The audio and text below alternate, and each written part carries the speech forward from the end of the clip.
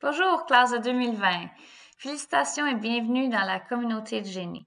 Vous avez terminé quatre ans intenses d'études. Vous devriez être vraiment fiers de vous. Mon nom est Valérie Prou et j'ai gradué en génie électrique en 2007. Quel conseil est-ce que je peux vous donner? Si je pouvais avoir 22 ans encore une fois, euh, voici ce que j'aimerais savoir. Rappelez-vous comment résoudre les problèmes. Euh, c'est ce que vous allez faire à chaque jour dans le monde des affaires, donc ça va vraiment jamais arrêter. Euh, continuez de travailler très fort. Si vous êtes capable de mettre les mêmes efforts dans votre carrière que vous venez de mettre dans vos études, vous avez un, futur assuré devant vous.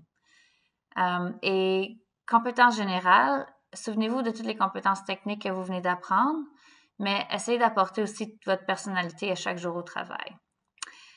Euh, graduer du programme de génie, c'est un accomplissement énorme, mais c'est vraiment juste le début. Et pour toutes les femmes qui entendent ceci, les statistiques nous disent que c'est un monde dominé par les hommes, mais n'ayez pas peur d'être vous-même parce que les compagnies ont vraiment besoin de vous et de votre de la diversité d'opinions pour réussir. Salut tout le monde, mon nom c'est Daniel Lantier.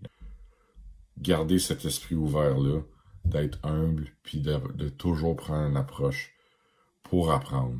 Puis ultimement, c'est l'atout numéro un que vous avez en sortant de l'université. Si vous avez appris comment apprendre des choses que vous connaissiez pas avant, euh, puis de les appliquer.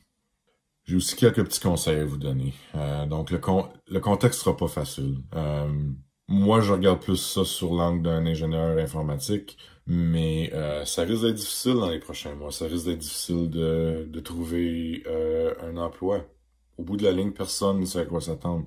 Euh, il y a des compagnies qui sont plus résilientes que d'autres.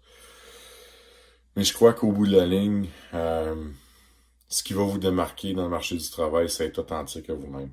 Euh, c'est démontrer l'énergie qui vous a permis de vous rendre où vous êtes aujourd'hui. démontrer votre ingéniosité. Démontrer votre capacité d'apprendre puis démontrer de l'attitude positive. C'est ce que les gens vont rechercher. C'est un moment difficile. C'est facile d'être négatif de ces jours-ci. Euh, mais vraiment apporter votre positivité euh, sur le marché du travail quand vous, quand vous y allez. Euh, je pense que c'est ça qui vous va vous amener le plus loin.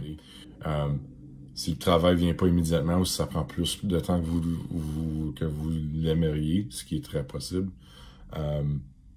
persévérez s'il vous plaît. on a besoin de vous.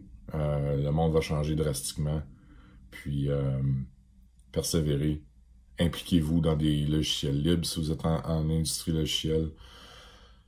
Vous pouvez tous faire ça à la maison, euh, faire des inventions. Donc, si vous n'êtes pas capable, gardez votre, votre esprit ouvert, appliquez-vous, puis persévérez.